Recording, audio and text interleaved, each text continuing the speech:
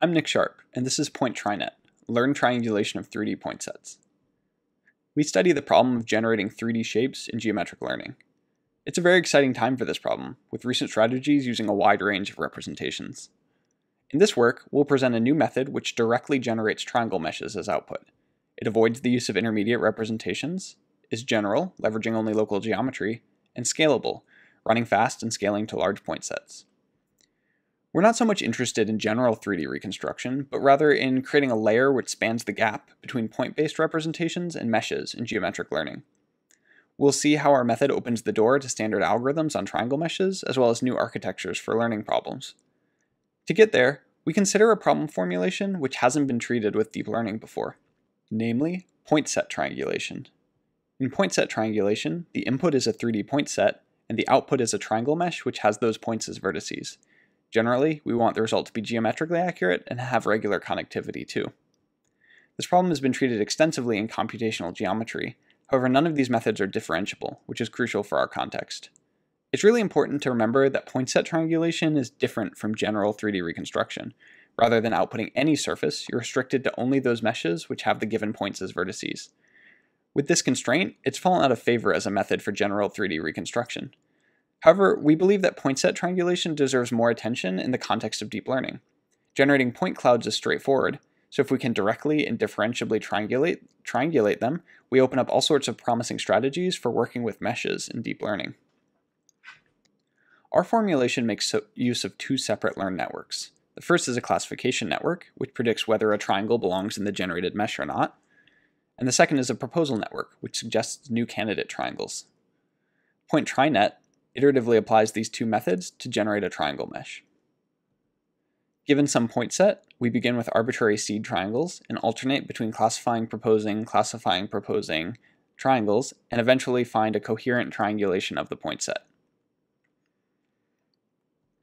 One of the key challenges of this problem is that choosing a set of triangles is inherently a discrete operation, without smooth derivatives, preventing the use of gradient-based techniques. Our solution is to model the problem via a probabilistic mesh, where we associate some probability with each generated triangle. Good triangles which should definitely appear have a probability near 1, whereas unwanted triangles get a probability near 0. Working with this fuzzy probabilistic surface allows us to formulate losses and train our networks with standard backpropagation. The main component of Point TriNet is the classification network. It classifies whether a given triangle should appear in the mesh as a function of the local neighborhood. Our intuition for the design of this network is that although triangulation is a global problem, it's driven largely by local concerns. For instance, in classical Delaunay triangulation, the empty circumcircle test is sufficient to select a triangle. More precisely, our classification network is structured as follows. Given a query triangle, we gather some nearby points and nearby triangles, and encode these as input to a point net. The point net then learns to generate the prediction score as a value from 0 to 1. This strategy has many benefits.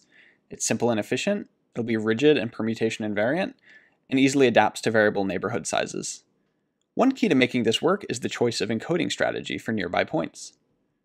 We expect that these predictions depend on both the arrangement of the local neighborhood and the triangle shape.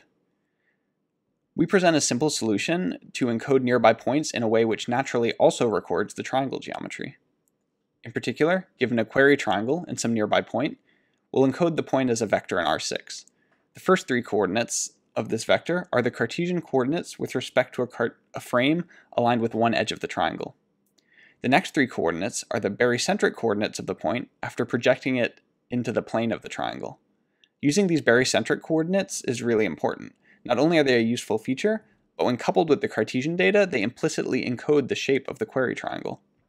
Of course, all this is an encoding for a nearby point. To encode a nearby triangle, we just encode its three vertices and take the max and min. The resulting encodings are rigid invariant and capture both the neighborhood arrangement as well as triangle shape, and we find them to be extremely effective in practice.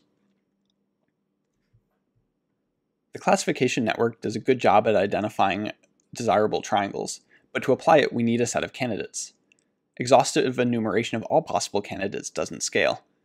Our solution is to leverage a proposal network, this proposal network predicts new candidates adjacent to existing triangles.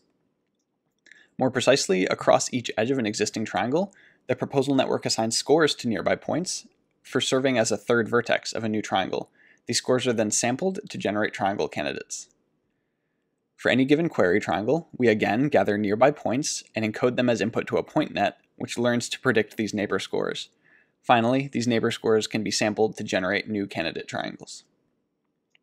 Bringing this all together, Point TriNet takes as input a 3D point set and alternates between proposing new triangle candidates and classifying existing candidates, iteratively generating an output mesh. At training time, one can imagine unrolling this whole procedure, kind of like a recurrent neural network, though we find it sufficient to backpropagate only through the final iteration for training purposes. To train these networks, we make use of standard geometric loss functions, but remember that since we're working with probabilistic triangles, we really want the expectation of some desirable geometric quantity. A bidirectional chamfer loss penalizes the expected distance between the predicted mesh and some underlying surface, while an overlap loss penalizes the likelihood that triangles intersect in space. We also make use of a water tightness loss, because in this formulation, manifoldness of the resulting triangulation is not free. We find it highly effective to just add a penalty which penalizes the likelihood of non-manifold edges in the resulting triangulation.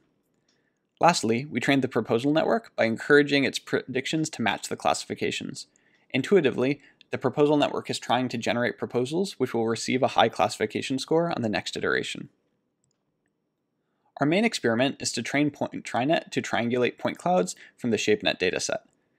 As input data, we first uniformly sample one set of points from each shape, which will serve as the vertex set to be triangulated, and we then separately sample another set of points, which will serve as the representation of the underlying surface for, for evaluating chamfer distance. It's really important to note that this training process is unsupervised, in the sense that we're not training to match the triangles in ShapeNet. All we need is some representation of the underlying shapes, which is sufficient to measure distance. A few more details. Our method is geometric and general by nature, so we treat all classes simultaneously. And as an efficiency optimization, we can train on many small patches of the input. We compare the results to classic computational geometry scheme. There are no prior learned methods which tackle this task. We quantitatively evaluate results for approximation accuracy, manifoldness, and water tightness. Full details appear in the paper, but in general, we more or less match the performance of classical schemes.